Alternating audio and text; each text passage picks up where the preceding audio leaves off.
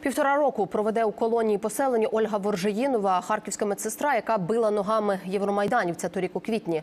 Спочатку активістів Євромайдану побили тітушки, а потім на сходах метро били хто міг. Нападників було багато, але ідентифікували завдяки відео і звинуватили в хуліганстві лише Воржеїнову. Суд присудив Воржеїнову Ольгу Анатоліївну визнати винуватою за частиною 2 статті 296 Кримінального кодексу України та призначити їй покарання один рік, 6 місяців обмеження волі. Справу Ольги Воржаїнової суд розглядав 9 місяців. Поки йшов процес, обвинувачена була під домашнім арештом. Вирок слухала спокійно, навіть усміхалася. Напали ленточки на, на людей. Це відео від 13 квітня минулого року. Активіст Євромайдану Володимир Селевич стікає кров'ю на сходах підземки. Хтось ударив його трубою по голові. Раптом до нього підходить білява жінка, починає гамселити ногами і вигукувати образи. Відтак чоловік місяць у лікарні, дві операції на мозку.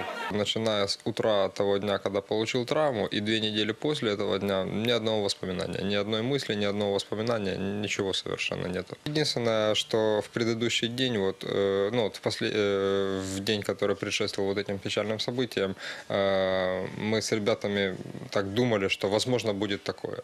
Володимира та інших активістів, які у вербну неділю зібралися на віче Євромайдану, били молодики в масках, добивали антимайданівці.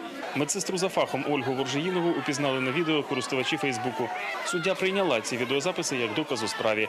Потерпілий погоджувався відмовитися від претензій, якщо його кривдниця вибачиться. Та жінка каятися не стала, провини не визнала.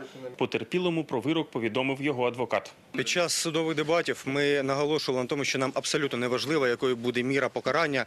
Для нас принциповим було те, щоб її визнали винними, і ми створили прецедент для неможливості повторення таких дій іншими особами і безкарності. Тому ми вимагати більш суворого покарання не збираємось однозначно. Ольга Воржаїнова від участі в дебатах останнього слова та спілкування з пресою відмовилася.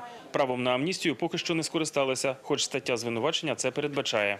Это не я решаю, это принял, приняла решение моя подзащитная насчет, э, почему она отказалась от, от амнистии. Ну, это только ее можно спросить. Я рекомендовал, конечно, как адвокат всегда рекомендую наиме- э, с с наименьшими, как говорится, потерями выходить с этих ситуаций. У захисту є 30 днів, щоб подати апеляцію. Микола Піддубний, Олександр Ушаков, перший національний.